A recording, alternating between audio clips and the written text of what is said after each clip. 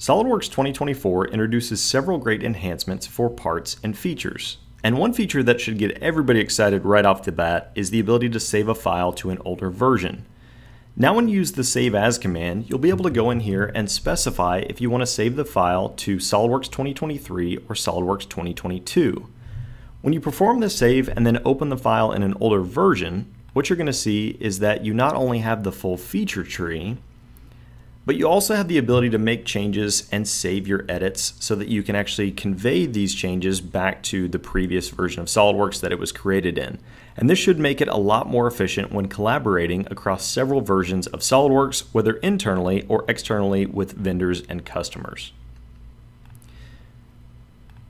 When we made this part, we made it using a revolve cut. So if we jump back to kind of a previous version here, we're going to see that there are new options for creating revolve cuts in SOLIDWORKS. Now in 2024, when you create a revolve cut, you'll have the option to flip side to cut.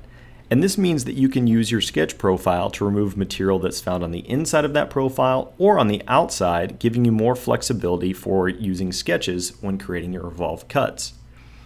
Now because this part is mostly axisymmetric, uh, we're probably going to make it on a lathe by just turning down some existing stock. And it'd be really useful to know what size stock we need to order so that we can manufacture these parts.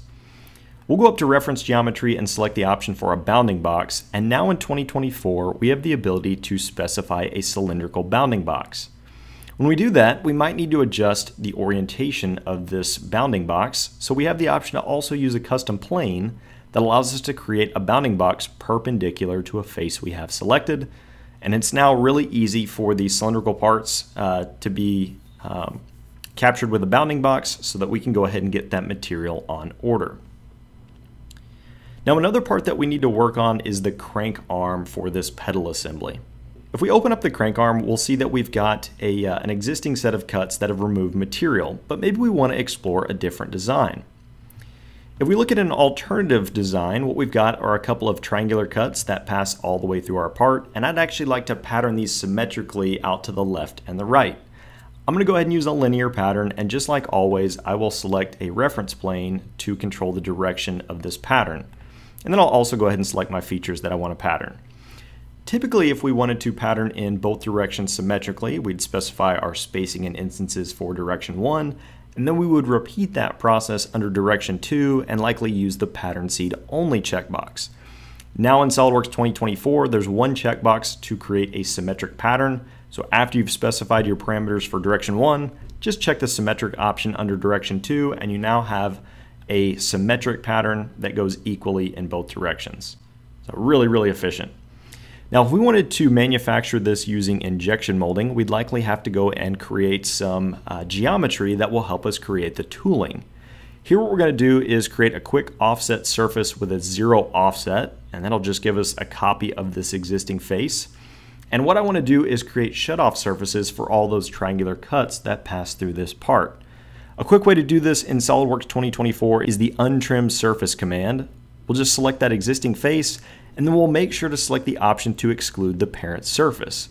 And that essentially gives us a negative of the face we had selected, or in this case, it gives us all of those triangular shutoff surfaces with just a couple clicks and we don't have to create each one individually.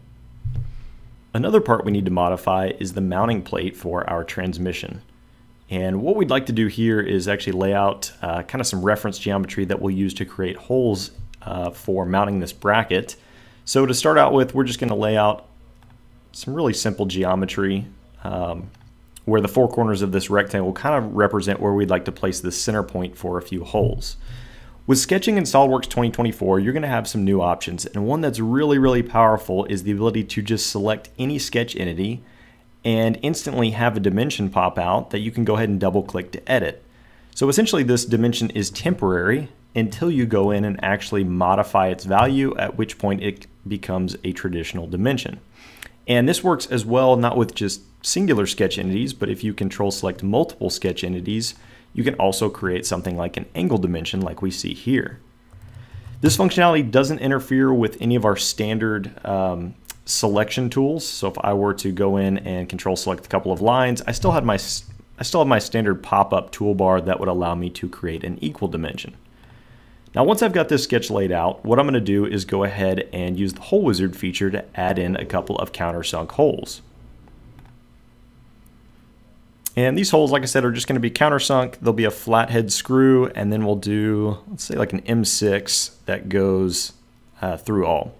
Once we've specified the size of our hole, what we need to do is jump over to the Positions tab where you'll find a new option to use an existing 2D sketch to place your hole instances.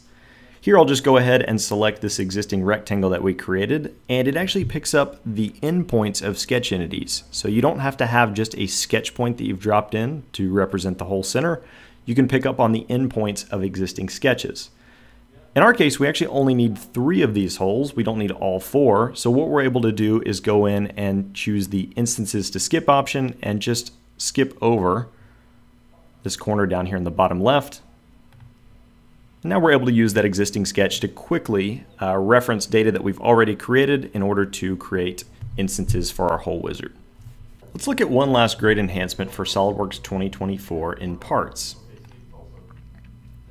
Here we've got this assembly that we need to do some additional work for to create a fixture that's going to hold it in place while we weld these stainless tubes together. Now, there's kind of a couple of challenges here that we're going to have to tackle because this is an assembly, uh, we don't have the option to create a physical uh, fillet weld bead that would let us uh, accurately capture the weight of our part if we were to weld these components together. And if we want to create these fixture components, uh, it might be a little bit more difficult to do at the assembly level rather than at the part level.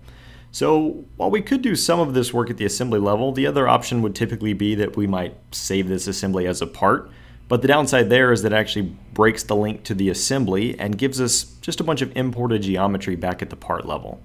So new in SOLIDWORKS 2024 is the ability to save a, uh, an assembly as a multi-body part. So if we choose make multi-body part and specify our template, what we're going to get here is some options for importing things like surface bodies, coordinate systems, materials, and then we also have the option to break or keep the link to the original assembly. In this case, we'll go ahead and keep that link to the original assembly. If we look at the feature tree here, we can see that we've got a, uh, an item in the tree that says make multi-body part, and then it's got individual folders for surface bodies and solid bodies. If we look at each solid body, we can actually see that the material has also come across with it. So that gives us a lot of options here for now creating physical weld beads. If we wanted to put a weld bead around each uh, intersection here, where we've got the tubes joining, we could go from there to actually calculate the mass properties of all of these parts together and get an accurate representation. Now, the big benefit here is that once we've created this multi-body part, there's still a link back to the original assembly. So what that means for us is if we make changes to the original assembly, we'll actually see those changes propagate back to the part level. So maybe we want to go in here and adjust uh, the position of some of these tubes. Well, we could just modify that existing sketch move some of these components around, maybe adjust their spacing a little bit. And then once we've rebuilt the assembly, we'll actually see those changes back here at the part level and the tubes will update uh, to reflect their new position. So a much more parallel process here when working with uh, a multi-body part that is linked kind of in real time to the original assembly. And that would allow us to just work on these fixtures while maybe we're still fine tuning the original design for the placement and position of each component. Now, since we're talking about fixturing, uh, when we saw these uh, new enhancements and started playing around with these feature sets, we decided that it might be cool to actually design and print our own fixture.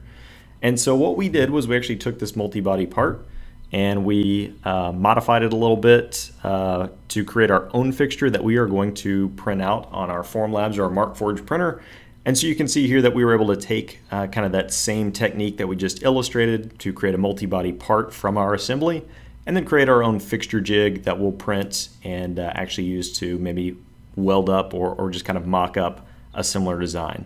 So a lot of cool things that we were able to take advantage of with our, uh, our manufacturing capabilities and our additive manufacturing solutions, and hopefully a lot of features that you guys can take back as well to incorporate into your own processes.